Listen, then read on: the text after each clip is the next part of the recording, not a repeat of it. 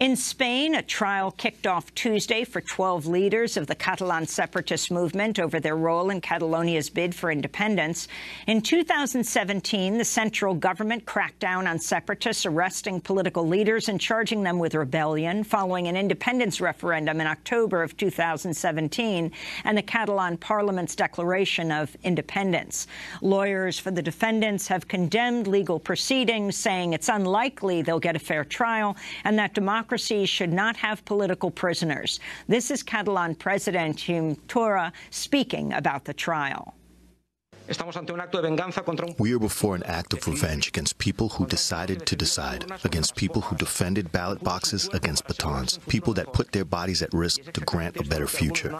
And it is precisely this that some have not tolerated and claimed for revenge. They wanted to punish them. The trial came two days after tens of thousands of protesters took to the streets of Madrid Sunday to denounce Prime Minister Pedro Sanchez's plan to hold talks with Catalan politicians.